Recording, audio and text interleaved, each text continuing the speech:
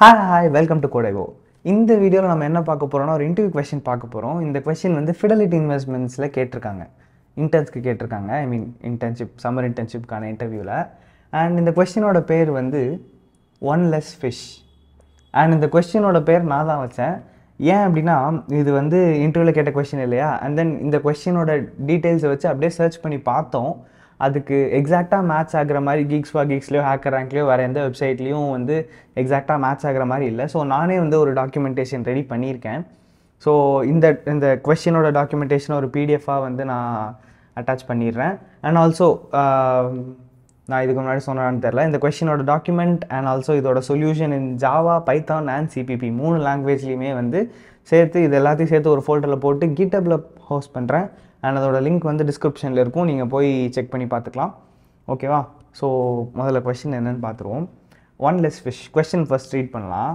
Problem statement என்னென்னா you given N identical fish bowls ஓகேவா அதில் என் மைனஸ் ஒன் ஃபிஷ்ஷஸ் தான் இருக்குது and one fish in each bowl ஓகேவா இப்போ நம்ம என்ன கண்டுபிடிக்கணும் அப்படின்னா the fishes in this bowls have different weights okay your task is to determine the weight of each each fish so இப்போ நம்மள்ட்ட என் பவுல்ஸ் இருக்குது அந்த என் பவுல்ஸில் என் மைனஸ் ஒன் ஃபிஷ் இருக்குது மீனிங் ஒரே ஒரு பவுலில் மட்டும் எந்த ஃபிஷ்ஷுமே இல்லை.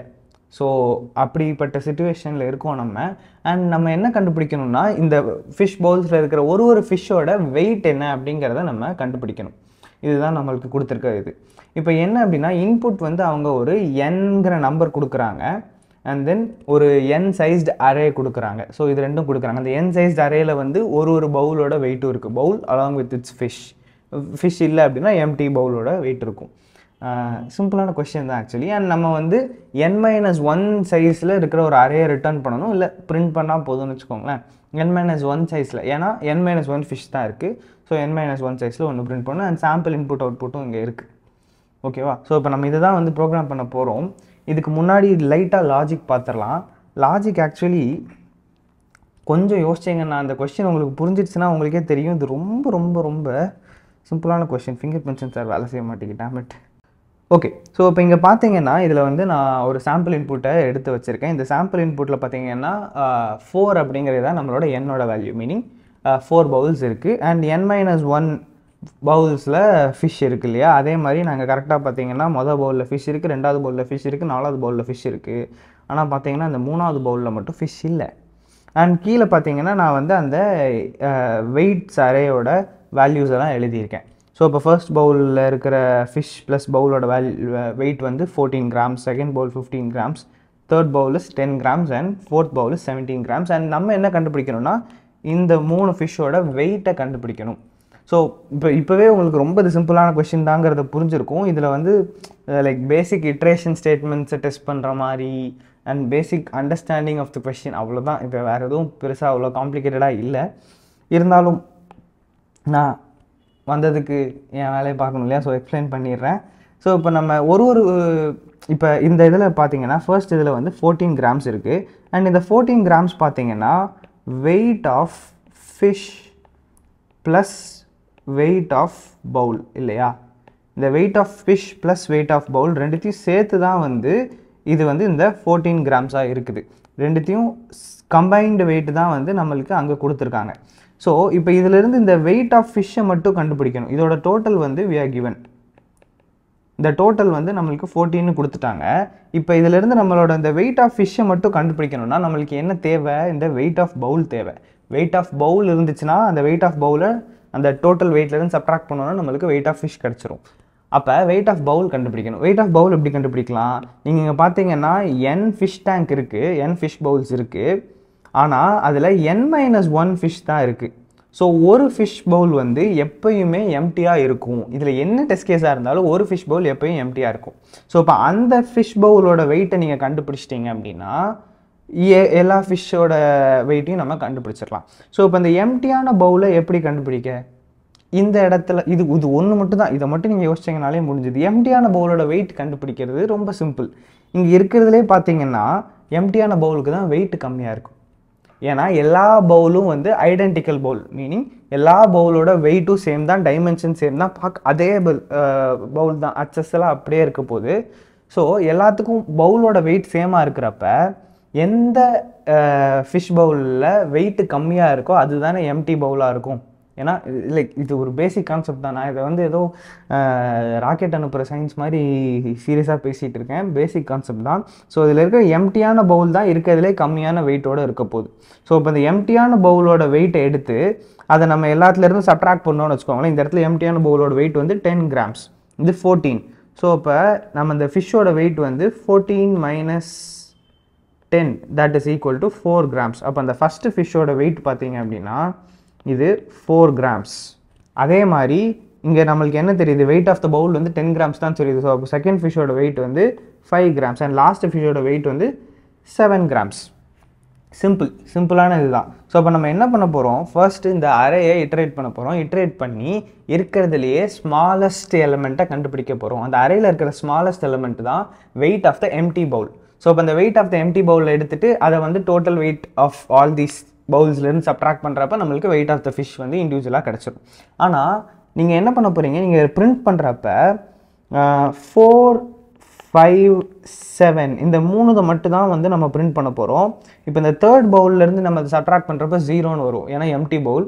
ஆனால் நம்மளுக்கு அவங்களுக்கு கேட்டிருக்கிறது வந்து அந்த ஃபிஷ்ஷோட வெயிட் மட்டும்தான். எம்டி பவுலோட வெயிட் அதனால் அந்த ஜீரோங்கிறத பிரிண்ட் பண்ணக்கூடாது. ஸோ அது வந்தால் மட்டும் ஸ்கிப் பண்ணிட்டு மிச்சம் எல்லாத்தையும் பிரிண்ட் பண்ணோன்னா அதுதான் இந்த கொஷின் வெரி சிம்பிள் தான். இப்போ இதை அப்படியே போய் ஜாவாவில் ப்ரோக்ராம் பண்ணிடலாம். நான் ஜாவாவில் இப்போ பண்ணி காமிக்கிறேன்.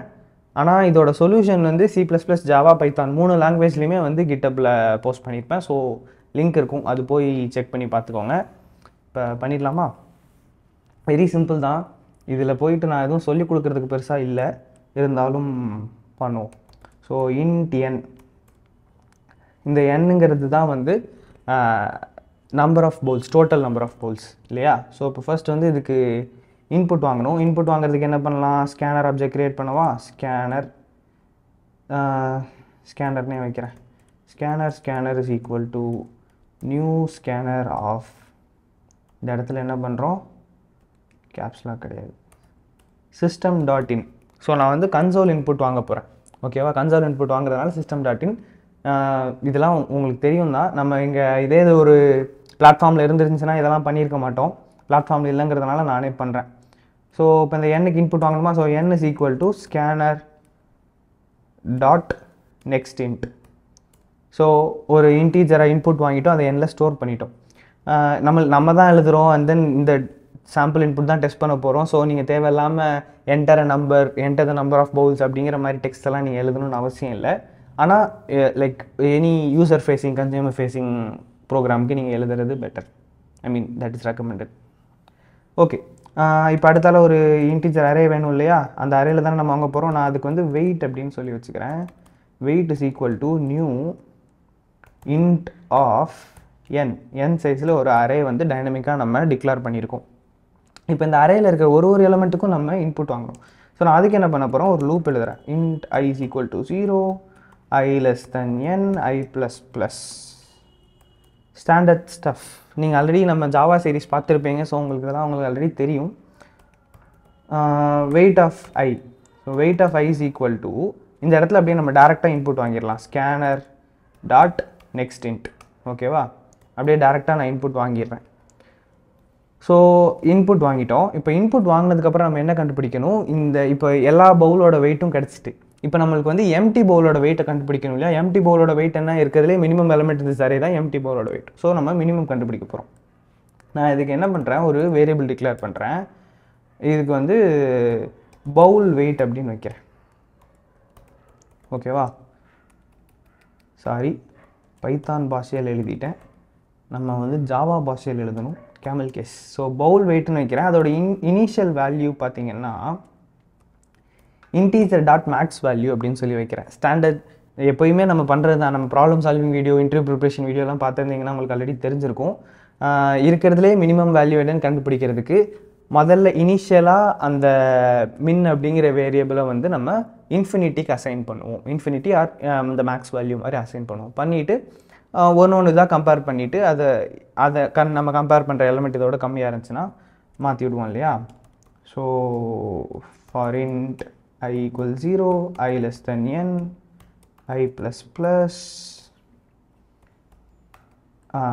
if bowl weight is less than weight of i. கரெக்டாக மாற்றி போடுறோம் பாருங்க.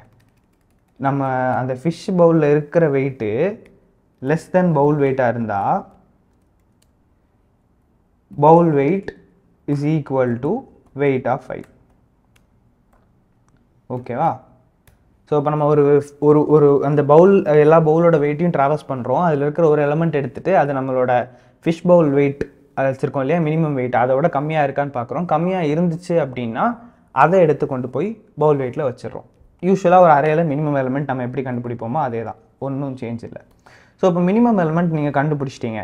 இப்போ ஆக்சுவலி இதை வந்து ரெண்டு ப்ராசஸாக பண்ணாமல் இது ரெண்டுத்தையும் சேர்த்து ஒரே லூப்பாக கூட நீங்கள் மாற்றணும்னு நினச்சா மாற்றலாம் இந்த பவுல் வெயிட்டை வந்து இந்த ஃபார் லூப்புக்கு மேலேயே கொடுத்துட்டு ஒரு ஒரு நம்பரும் இன்புட் வாங்குறப்பவே கூட நீங்கள் அதை வந்து கம்பேர் பண்ணி அப்படியே கூட பண்ணிக்கலாம். ஸோ அதுவும் அது லைக் இது சிம்பிளாக பார்க்க பார்த்த உடனே புரியணுங்கிறதுக்காக இப்படி வச்சுருக்கேன். வேணும்னா இந்த ரெண்டு ஃபார் லூப்பை ஒரே ஃபார் லூப்பாக கூட நீங்கள் மாற்றிக்கோங்க மாற்றினீங்க அப்படின்னா இன்புட் வாங்கி முடிக்கிறப்பவே உங்களுக்கு மினிமம் எலமெண்ட்டும் கிடச்சிருக்கும்.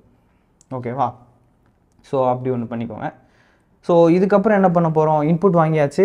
இருக்கிறதே மினிமம் எலமெண்ட் கண்டுபிடிச்சாச்சு. இப்போ நம்ம டேரெக்டாக போய் அந்த வெயிட் ஆஃப் இண்டிவிஜுவல் ஃபிஷஸை பிரிண்ட் பண்ணால் போதும்.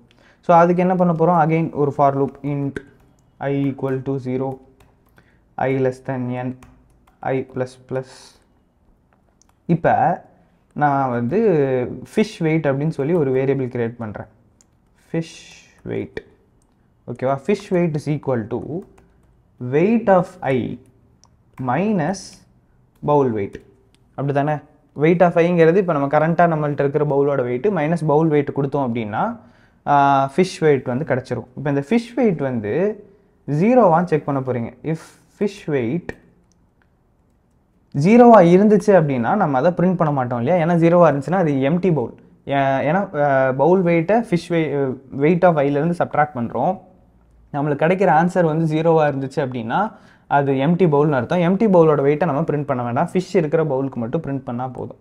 ஸோ நாட் ஈக்குவல் டு ஜீரோவாக இருக்கிற பட்சத்தில் மட்டும் நம்ம என்ன? System dot out dot println வேண்டாம். ஏன்னா ஒரே லைனில் பண்ண போகிறோம் so print fish weight plus ஒரு ஸ்பேஸ் ஓகேவா ஃபிஷ் வெயிட் ப்ளஸ் ஒரு ஸ்பேஸ் நான் இங்கே வந்து ஒரு ஒரு பிரிண்ட் லைன் கொடுத்துக்கிறேன். எந்த இடத்துல அவுட்புட் ஸ்டார்ட் ஆகுதுன்னு தெரியாமல் போயிடக்கூடாதுல்ல? டாட் பிரிண்ட் பிரிண்ட் எல்லனே கொடுப்போம். பிரிண்ட் எல்என் என்னென்னா ஃபிஷ் வெயிட்ஸ் ஓகேவா ஃபிஷ் வெயிட்ஸ் ஸோ ஃபிஷ் வெயிட்ஸ்னு பிரிண்ட் ஆகிட்டு கீழே வரிசையாக எல்லா ஃபிஷ்ஷோட வெயிட்டும் பிரிண்ட் ஆகும். ஜீரோவாக இல்லாத பட்சத்தில் மட்டும் பிரிண்ட் ஆகும். ஜீரோவாக இருந்துச்சுன்னா பிரிண்ட் ஆகாது. ஸோ எல்லாம் கரெக்டாக தான் எழுதியிருக்கேன்னு நினைக்கிறேன். இப்போ நான் அப்படியே போயிட்டு இந்த கொஷினில் ஒரு சாம்பிள் இன்புட் வச்சுருக்கேன். இதை அப்படியே காப்பி பண்ணிட்டு வரும் இதை இங்கே ரன் பண்ணி பார்த்து செக் பண்ணிடலாம். ஓகே பேஸ்ட் பண்ணோன்னா ஃபிஷ் வெயிட்னு சொல்லிட்டு ஃபோர் ஃபைவ் செவன் அப்படின்னு கரெக்டாக வந்துருச்சு. ஃபர்ஸ்ட் பவுலோட வெயிட் வந்து ஃபோர்டீன் அதுலேருந்து டென் சப்ட்ராக்ட் பண்ணுறோம் டென்னு தான் நம்ம ஃபிஷ்ஷோட அந்த பவுலோட வெயிட்டு எக்ஸாம்பிளில் பார்த்தா அதே இன்புட் தான். So fourteen minus ten four வந்துருச்சு. ஃபிஃப்டீன் மைனஸ் டென் ஃபைவ் வந்துருச்சு. Ten minus ten zero so zero print பண்ணல. ஏன்னா அது எம்டி பவுலோட வெயிட் பிரிண்ட் பண்ணல. செவன்டீன் மைனஸ் டென் வந்து செவன் வந்துருச்சு. ஓகேவா இப்போ நான் இன்னொரு ஒரு சாம்பிள் இன்புட்டும் இங்கே வச்சுருக்கேன். அதையும் வேணால் செக் பண்ணிக்கோங்க. இந்தா இருக்குது திரும்ப ரன் பண்ணுறேன் ரன் பண்ணிவிட்டு பேஸ்ட் பண்ணோன்னா ஓகே ஸோ இதில் வந்து இருக்கிறதுலே ஸ்மாலஸ்ட்டு வேல்யூ வந்து ஃபைவாக இருக்குது. ஸோ ஃபைவ் தான் வந்து ஃபிஷ் பவுல் அந்த பவுலோட வெயிட்டு ஸோ பவுலோட வெயிட்டை எல்லாத்துலேயும் சப்ட்ராக்ட் பண்ணுறோம் தேர்ட்டீன் மைனஸ் ஃபைவ் வந்து eight ten minus five is five twelve minus five is seven and five minus five zero அதனால் அது பிரிண்ட் பண்ணல. Nine minus five four okay so கரெக்டாக பிரிண்ட் ஆகுது. வெரி சிம்பிள் கொஷின் தான். ரொம்ப ரொம்ப ஈஸி உங்களுக்கு புரிஞ்சிருக்கும்னு நினைக்கிறேன். அண்ட் ஜாவா கோடு எழுதியிருக்கோம். உங்களுக்கு எந்த ப்ரோக்ராமிங் லாங்குவேஜ் தெரிஞ்சாலும் அதில் நீங்களே எழுதிக்கலாம். சப்போஸ் ஏதாச்சும் டவுட் இருந்துச்சு அப்படின்னா ரெஃபர் பண்ணணும்னா கிட்டப் லிங்க் இருக்கும். அதில் போய் பாருங்கள் அண்ட் ஆல்சோ இந்த பிடிஎஃப் வித் திஸ் கொஷின் கீழே கொடுக்குறேன். அதே கிட்டப் லிங்க்கில் அதே ஃபோல்டரில் இருக்கும். ஸோ போய் செக் பண்ணி பாருங்கள் அண்ட் ஆல்சோ வேறு ஏதாச்சும் கம்பெனியில் வேறு ஏதாச்சும் கொஷின் உங்களுக்கு கேட்டிருந்தாலோ உங்கள் ஃப்ரெண்ட்ஸ்க்கு கேட்டிருந்தாங்களோ அதுக்கு அதுக்கு நாங்கள் வீடியோ போடணும்னு நினச்சிங்க அப்படின்னா நாங்கள் தான் நான் போடுறேன். ஸோ நீங்கள் எனக்கு அந்த கொஷினை வந்து எய்தர் இன்ஸ்டாகிராமில் கோம்ஸ் டாட் ஐஓலையோ இல்லை மெயில்லையோ அனுப்புனீங்க அப்படின்னா எனக்கு கொஞ்சம் ஈஸியாக இருக்கும். அந்த கொஷினை பார்த்துட்டு நான் கொஞ்சம் அதை சால்வ் பண்ணி வீடியோவாக போடுறேன். மற்றவங்களுக்கும் யூஸ்ஃபுல்லாக இருக்கும் இல்லையா? அவ்வளோதான் ஸோ வேறு ஒன்றும் இல்லை. உங்களுக்கு புரிஞ்சிருக்கும்னு நினைக்கிறேன். தேங்க்ஸ் ஃபார் வாட்சிங் அடுத்த வீடியோவில் பார்க்கலாம். டாடா.